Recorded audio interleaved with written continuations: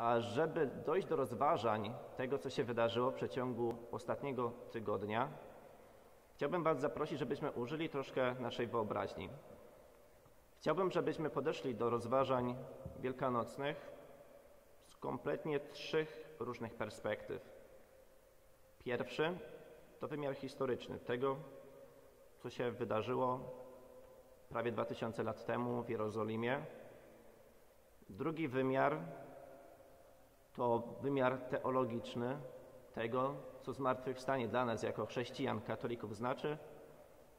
Zaś trzeci wymiar jako nasz wewnętrzny człowieka, jak ja mogę odbierać zmartwychwstanie Jezusa Chrystusa. Zacznijmy od tego wymiaru historycznego. Żeby lepiej zrozumieć kontekst tego, co się wydarzyło w Jerozolimie 2000 lat temu, chciałbym Was zaprosić, żebyśmy sobie wyobrazili tę sytuację nie jako Jerozolimę. Może niektórzy z Was, bracia i siostry, byli w Jerozolimie, widzieli całe miasto, ale chciałbym, żebyśmy się przenieśli do St. Louis, Missouri. Nie Jerozolima, Judea, St. Louis, Missouri. Pojawia się człowiek w mieście, mężczyzna, który chodzi po ulicach, naucza, czyni cuda, uzdrawia chorych, rozmnaża jedzenie.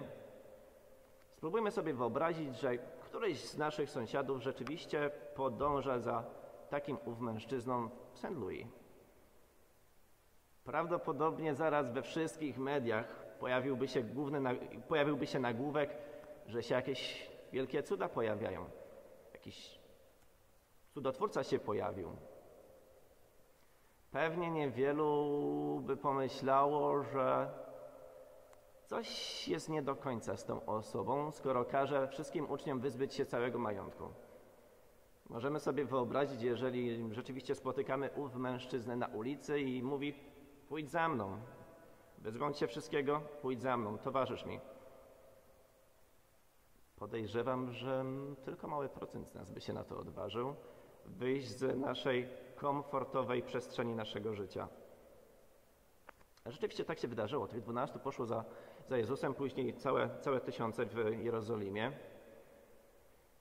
I zaczynamy naszą przygodę z Wielkanocą 40 dni temu, kiedy to Jezus jest skuszony na pustyni przez diabła, on już wtedy doskonale wie, co się wydarzy. To nie było dla niego później jakąkolwiek niespodzianką, ale on już wtedy wiedział, co się wydarzy w Wielki Piątek. Z naszej perspektywy jako ludzi, prawdopodobnie no, byśmy próbowali uciekać.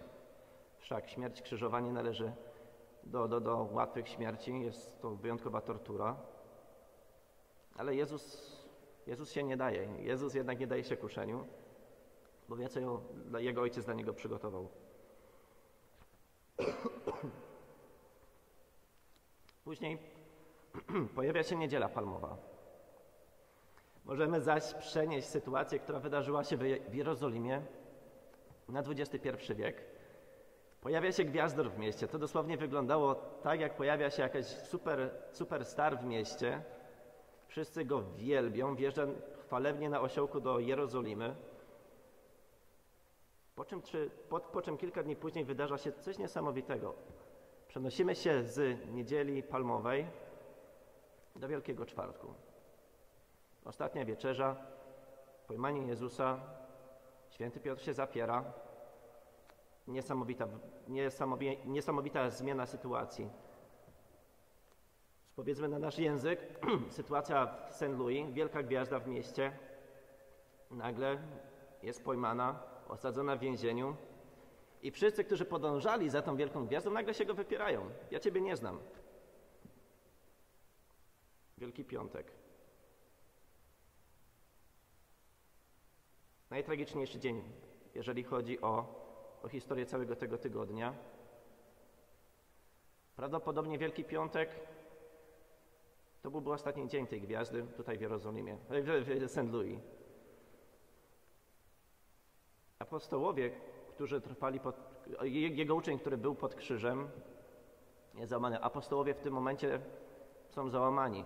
Wierzyli, że rzeczywiście On, Jezus Chrystus, był Zbawicielem tym momencie wszystko upada. Człowiek jest zabity, złożony do grobu. I spróbujmy sobie teraz wyobrazić tę sytuację, gdzie wyzbyliśmy się całego majątku, w oczach naszych sąsiadów, w oczach naszych bliskich prawdopodobnie w tym momencie wyglądamy niesamowicie źle, ponieważ wyzbyliśmy się wszystkiego, podążamy za tym człowiekiem, a tu wszystko przepadło. Cała nasza nadzieja przepadła.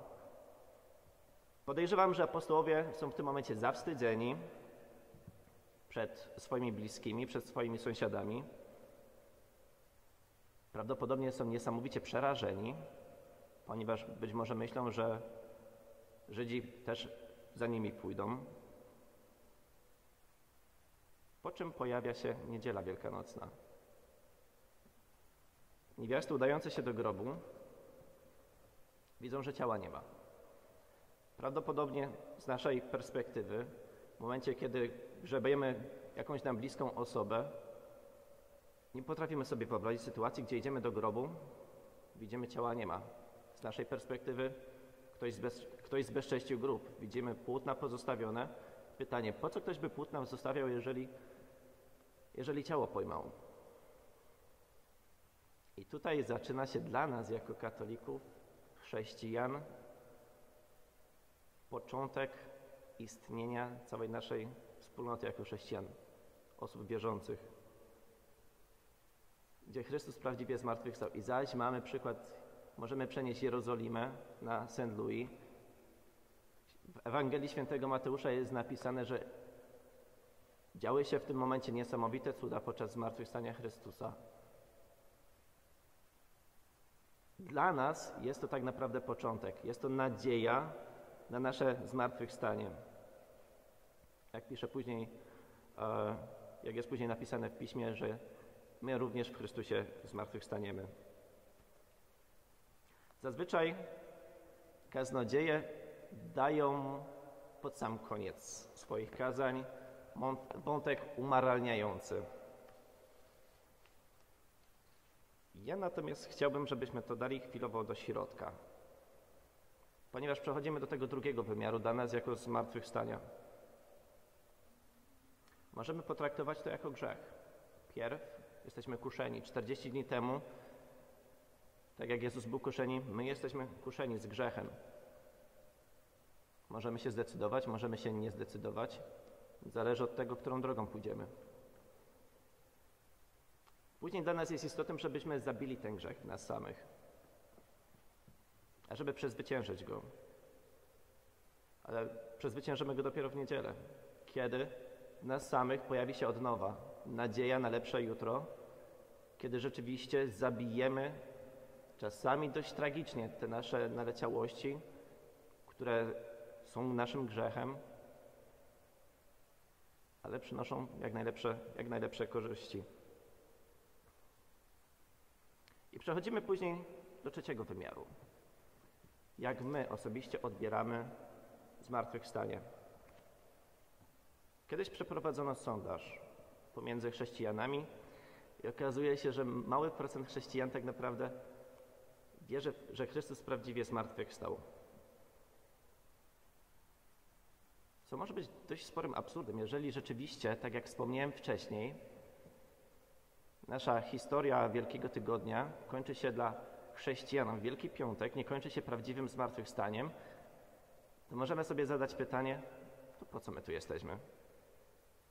Skoro rzeczywiście my nie wierzymy w realność zmartwychwstania Jezusa Chrystusa, cała tak naprawdę nasza wiara nie ma najmniejszego sensu. Powtarza się w Polsce dość często o słynnym kazaniu jednego z księdza z parafii e, artystów, który wygłosił bardzo krótkie kazanie. Miejmy, po, po, miejmy na uwadze to, że kazania wielkanocne zawsze są długie, ale wygłosił kazanie bardzo krótkie. Jezus Chrystus zmartwychwstał, ale wy ich tak to nie wierzycie. Usiadł, poczekał 10 minut, dał każdemu czas, ażeby móc rozważyć sobie we własnym sercu, czy ja tak naprawdę wierzę w Jego zmartwychwstanie. I myślę, że takie rozważanie w głębi naszych serc każdy powinien przeprowadzić. Ja rzeczywiście wierzę, że to, co się wydarzyło 2000 lat temu, To jest fakt. Historycznie jest to fakt. Możemy spotkać opisy również w e, różnych źródłach niechrześcijańskich o sytuacji, która wydarzyła się w Jerozolimie w ówczesnym czasie. Dla nas, jako katolików, w czasie każdej Eucharystii widzimy realną obecność Jezusa Chrystusa, tego zmartwychwstałego. Więc dziś chciałbym Ciebie, drogi bracie, droga siostro, zachęcić do tego, ażebyśmy wychodząc dziś z tej świątyni, radośnie wychodzili, wierząc w Jego realne zmartwychwstanie, a i również, tak jak te niewiasty, które udały się do grobu, dzieląc się z wszystkimi wokół nas tą radosną nowiną. Chrystus jest zmartwychwstały. Alleluja. Amen.